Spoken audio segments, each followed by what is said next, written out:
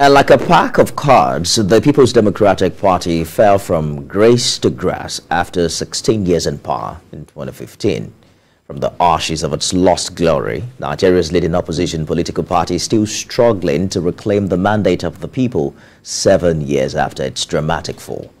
In this special report, our correspondent Joke Adisa chronicles the fall of the hitherto self-acclaimed largest political party in Africa.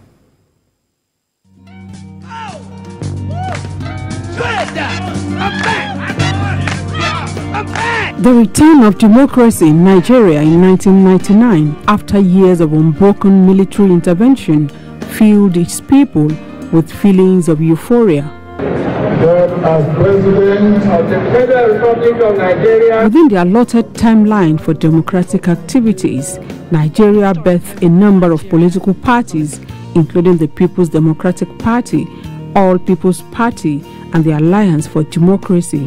While the AD held sway in the southwest, the PDP and the APP had tentacles across other geopolitical zones, but PDP secured more wins, leading to its landslide victory in the presidential, state, and national assembly elections in 1999. Not even the joining of forces by the APP and the AD could stop PDP's moving train. The impact of PDP on governance was very abysmal. Jide Ojo is a political analyst. He x-traced the 16 years of the PDP. PDP ruled with impunity. And when you have a culture of impunity in government, you won't be able to achieve much. Recall, recall that even members of the party were ashamed of some of the actions of the party leadership. The party acclaimed itself the largest political party in Africa with a projection to rule the country for at least 60 years. This self-acclaimed description came at a time many citizens groaned under the party's style of leadership. Insecurity reared its head and many citizens were caught in the melee. The economy did not fare better Victor Giwa, a lawyer and human rights activist, give reasons behind PDP's fall. Prior to the 2015 election, there was there were what they call the new PDP, you know, and that came out after the convention that led to the election. So a lot of party persons believe that uh, as at 2015, that office of the president was zoned to the north to many citizens, the party failed to live up to their high expectations of establishing a stable, secure, and prosperous country.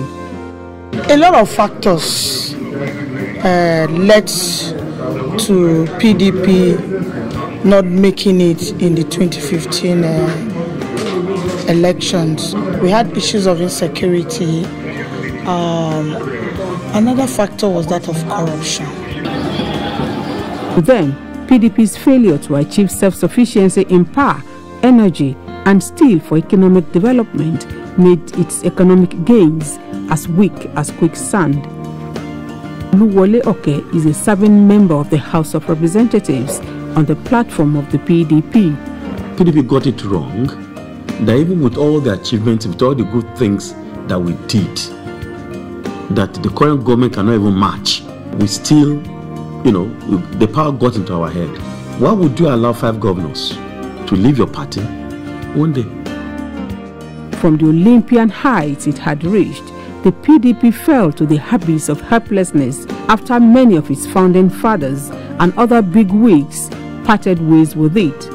Death of President Umaru Yar'Adua and the copious violation of zoning and rotation arrangements which led to former President Goodluck Jonathan running for office twice against a gentleman's agreement was the final nail in the coffin. And the newly registered All Progressives Congress became the bride of those disgruntled with the then ruling party. And for the first time in the history of Nigeria's politics, a ruling government was roundly defeated in what was generally acclaimed a free and fair election in 2015.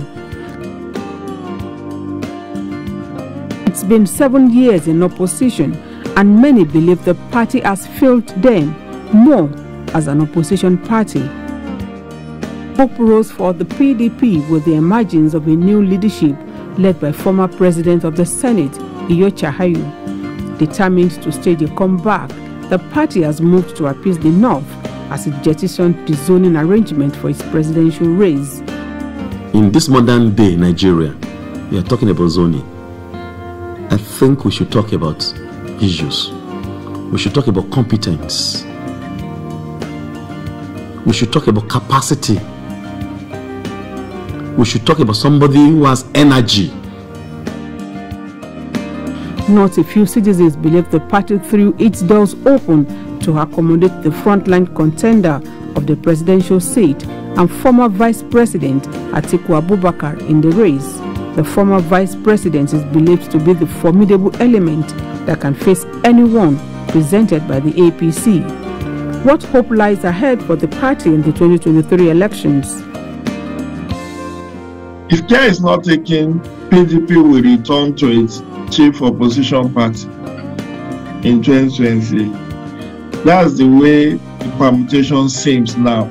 Because you see, for you, the party is even finding difficult to rebrand. Whether or not they are going to take over from the APC is going to be a function of so many variables.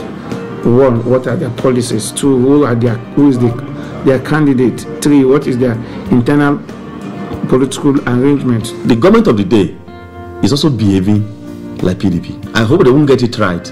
I hope they will not choose the right person for presidential candidate so that we can sweep them out of office.